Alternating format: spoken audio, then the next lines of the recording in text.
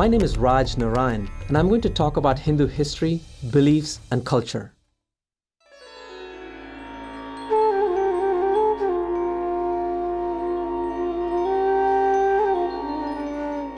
Hinduism is the oldest living religion in the world and the third largest.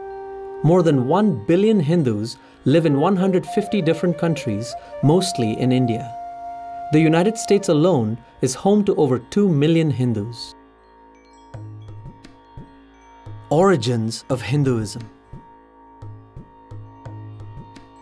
To find the distant beginnings of Hinduism, we have to go back over 6,000 years to the Saraswati Indus region of the Indian subcontinent.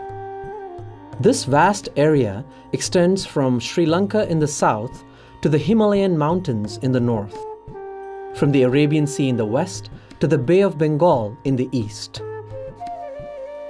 The Saraswati Indus civilization developed here, eventually becoming the world's largest and most advanced, surpassing even those of Egypt, Mesopotamia, and China. The civilization is named after the area's two great river systems, the Saraswati and the Indus. It is called the Vedic culture after the earliest Hindu sacred text. It is also known as the Harappan culture after the site of its first discovery in 1920. This was an urban culture centered around many highly organized cities, some with populations of 80,000, which was rare in those days. The cities were connected by trade routes which extended west to Mesopotamia and east to Central Asia. 5,000 years later, archaeologists discovered pottery, seals, statues, beads, jewelry, tools, toys, miniature carts, and dice, all of which hint at what life was like at the source of the civilization that has evolved into modern day India.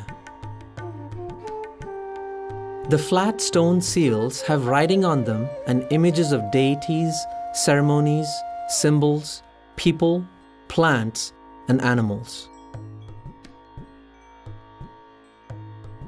Even though writing was widespread among the people, we have not deciphered it yet.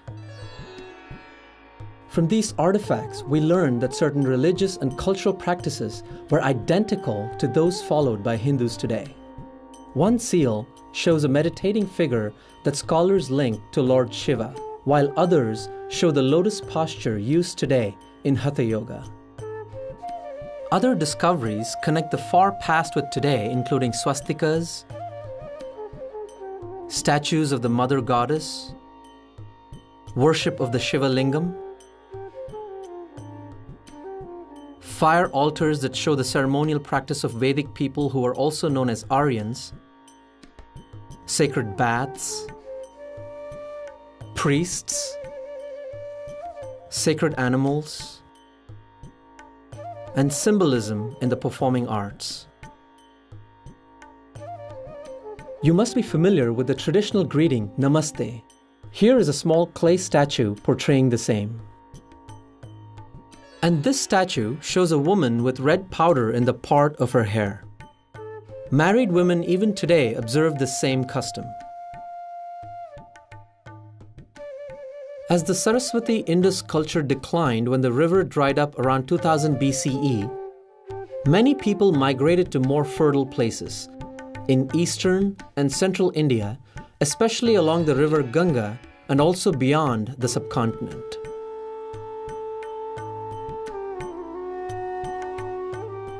Hindu scriptures. The four Vedas the central holy books of Hinduism were composed in Sanskrit starting at least 6,000 years ago. The Rig Veda, the earliest of the four, speaks repeatedly of the Saraswati, describing it as the most mighty of rivers, flowing from the Himalayan mountains to the sea.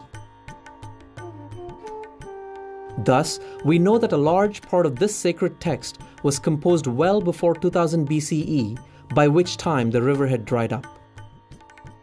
Vedic hymns praise God, gods, and goddesses and describe a powerful and spiritual people, their clans, kings and emperors, fights, and battles. Their sophisticated economy included agriculture, industry, trade, commerce, and cattle raising. Vedas call the country Sapta Sindhu, meaning the land of seven rivers. The words Hindu and India both come from the Sanskrit word Sindhu, which means river. These Vedic hymns describe a form of fire worship, yajna, performed around a specially built altar. Archaeologists have unearthed such altars in several Saraswati Indus cities. Hindus still perform fire worship in this form. Originally, these thousands of hymns were not written down but memorized. Even today, there are priests who can chant from memory as many as 10,500 verses, which takes 50 hours.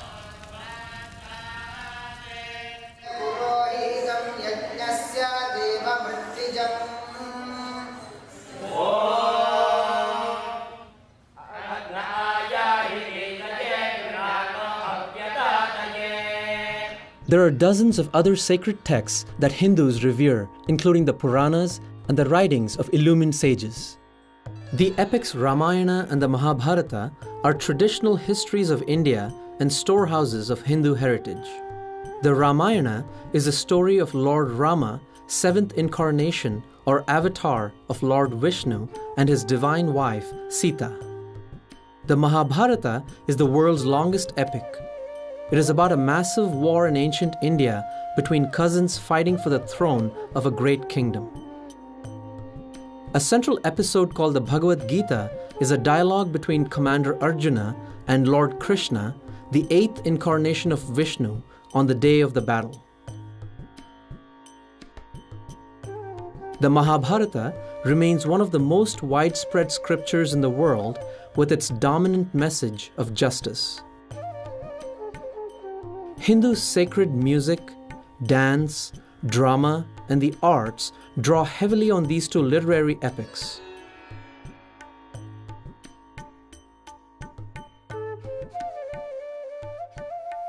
The Hindu Society By 600 BCE, the social, religious, and philosophical ideas and practices central to Hinduism today were fully evident, having emerged from the Indus Saraswati culture the Vedas, Dravidian culture, and the tribal religions. A distinctive feature of society was the Varna or class system. People were classified into groups with specific occupations.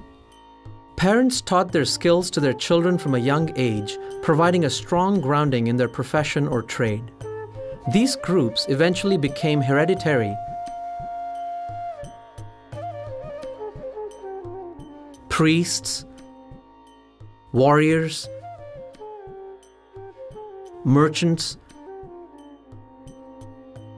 and workers, including craftsmen and farmers. However, this class system did not include the various forest tribes.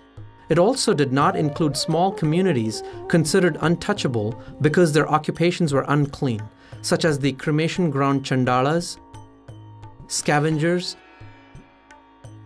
and leather workers. This system gave identity to the kinship groups and gave all citizens a sense of belonging, greater social order, and stability. The socially cohesive contributions of caste continue to play a key role in economic, social, and political life, most visibly in marriages and elections. Life in ancient times was hard work for both men and women. Women were responsible for running the household, while men for looking after their craft, farm, and family security. In general, women participated equally in religious ceremonies, festivities, and social relationships. Some of the foremost religious and political leaders in India's history have been women. Some even composed Vedic hymns. The period from 1000 BCE through the Gupta period, ending in the mid 6th century CE, was a time of great scientific and mathematical advancement. Hindus developed the counting system we use today, including the mathematical concepts of zero and decimals. Indian astronomers knew that the Earth orbits the Sun and they calculated the length of a year with amazing precision. Medicine was so advanced that doctors were performing complex surgeries not equaled in Europe until the 18th century. India was the foremost supplier of steel to the world. In 400 CE, its foundries created an iron pillar which even stands today and has never rusted. Modern science cannot equal this feat. For thousands of years, India has been home to one quarter of the human family. It has been honored as a nation of wealth and wisdom, and, of course, it is famous today as the world's largest democracy.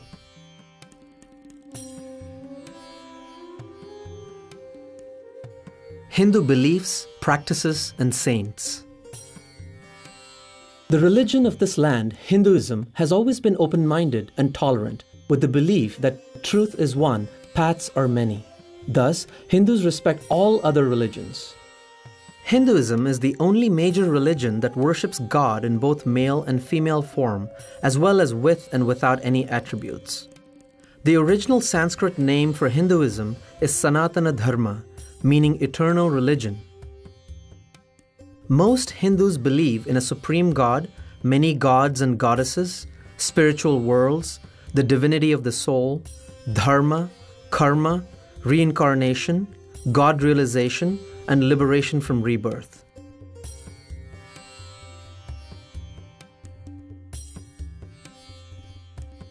The Supreme God is known by various names depending on region and denomination Brahman, Bhagavan, Shiva, Shakti, Vishnu, and more. He, she is all powerful, all knowing, all loving, immanent, that is, present in all things, and transcendent beyond them as well. God exists within each person as Atman, the divine soul. God realization describes the experience of the divine within oneself. This profound encounter with God is regarded as the ultimate goal of life. Hindus teach that every human being can know God personally. Hindus also worship other divinities. Each divinity has distinct powers and areas of responsibility. For example, Lord Ganesha is the remover of obstacles. Saraswati is the goddess of knowledge and Hanuman is the god of service and devotion. Each Hindu freely chooses the deities he or she wishes to worship. Dharma is a cardinal concept in Hinduism. It includes righteousness, truth, sacred law, ethics, duty, justice, religion, and the laws of nature. Dharma means that which upholds. The dharmic principle of ahimsa or non-violence is important to this day. Mahatma Gandhi led India's independence in 1947 using non-violent means such as peaceful protests, boycotts, strikes, and speeches that aroused the nation to throw off British rule. He once said, Non-violence is the greatest force at the disposal of mankind. It is mightier than the mightiest weapon of destruction devised by the ingenuity of man. In the 1950s, Martin Luther King Jr. understood the power of Gandhi's methods and went to India to meet his followers. He later applied those methods to fight for and win civil rights for America's black minority. In the same way, Cesar Chavez won rights for the farm workers of California. Gandhi also inspired Nelson Mandela in his fight for freedom and racial equality in South Africa. Today, everyone knows about the Hindu concept of karma, the law of cause and effect. It means that anything a person does, whether good or bad, will eventually return to him in this or a future life. A popular way of expressing this is what goes around comes around. Reincarnation is the central Indian belief that the soul, Atman, is reborn in a new body time and time again to grow and mature through all the experiences human life has to offer. Eventually, every soul achieves salvation by realizing its oneness with God and is no longer reborn. Hindus do not believe in a Satan or an eternal hell. Worship is central to a Hindu's life. So, every Hindu home has a place of worship.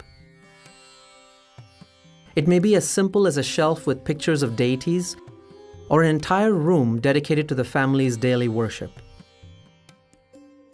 A worship ceremony called puja, performed elaborately or very simply every day in the temple or in the home shrine, invokes the divine beings for blessings and happiness.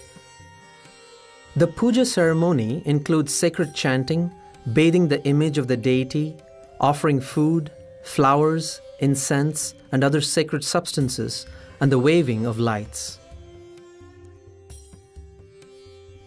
Hindus practice yogic disciplines every day called sadhana. Sitting on the floor, often in a yoga posture, they chant, sing devotional hymns, repeat the name of God while counting on beads, or simply meditate in stillness and silence. The temple is revered as the home of God. There are millions of temples in India, many quite ancient. The most important of these mystically designed structures cover hundreds of acres and receive thousands of pilgrims each day. Every Hindu is expected to pilgrimage to temples and holy places far and wide. These pilgrimages unify the religion as tens of millions of people travel throughout the subcontinent and interact. Hinduism has a rich history of sages and saints, both men and women from all castes. Some of the great saints wrote detailed explanations of the Upanishads and related scriptures, such as Adi Shankara in the 8th century CE, Ramanuja in the 11th, and Vallabhacharya in the 15th. Others, including Sambandar, Mirabai, and Tukaram, expressed their experience of God through devotional songs. Recent saints include Sri Ramakrishna, Swami Vivekananda, Anandamayi Ma, Swami Narayan, and Shirdi Sai Baba. Millions of Swamis and other saintly souls make up the spiritual leadership within Hinduism. Swamis have renounced the world and taken up spiritual life full time. Special among these are the gurus, enlightened men and women who serve as religious teachers. Some gurus have millions of followers, others are humble hermits. Hinduism has no central organization and no single dogma.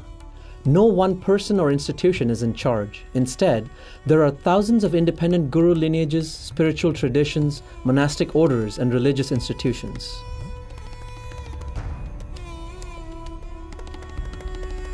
Hindu festivals. Hindus love festivals and enthusiastically celebrate many holy days each year.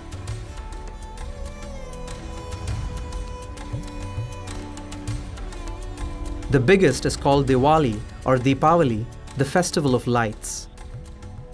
This five day event, held around the new moon in October or November, celebrates the victory of good over evil, light over darkness. Thousands of small lamps, including traditional clay oil lamps, are placed everywhere, and fireworks signal hope for mankind. It is a national holiday in India and in many countries with large Hindu populations. Barack Obama was the first U.S. president to celebrate Diwali in the White House. White House, Dia, and wish you all a happy Diwali and a Sal Mubarak. So,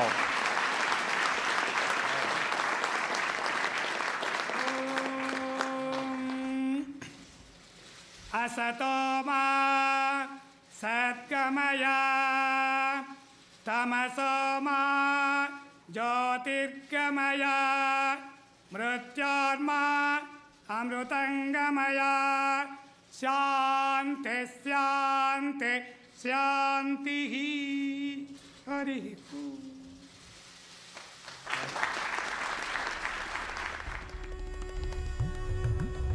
One special festival, the Kumbh Mela, takes place every three years at four sacred river sites. The 2013 Kumbh Mela was held at Prayag, which is modern day Allahabad, in northern India. During the six weeks, 130 million people pilgrimaged there from all across India and the world. On one day alone, 30 million pilgrims were present. It was the largest human gathering ever held on earth. Hinduism has persisted for thousands of years because the dharma, faith, and culture have instilled in each Hindu a unique and strong sense of identity, family, and spiritual purpose. It endures because it is a dynamic religion which gives complete freedom of practice, accepts that there are many ways to worship God, and provides festivals, temples, pilgrimages, gurus, and scriptures to illumine the path, thereby celebrating life itself. We hope that this documentary has increased your understanding of Hinduism and its history.